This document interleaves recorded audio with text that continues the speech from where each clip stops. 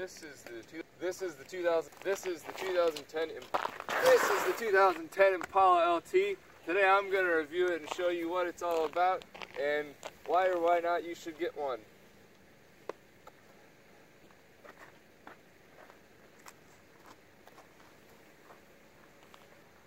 Whoa.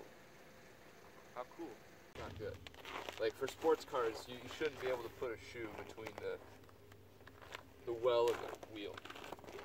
This is audio sync number five or something at this point. What do you say of outros and stuff? You say, check my shit, Uh, subscribe, like, and I'll see you next video or something. yeah, yeah. Light gravity. This was. This was. No. Oh, let's just redo that.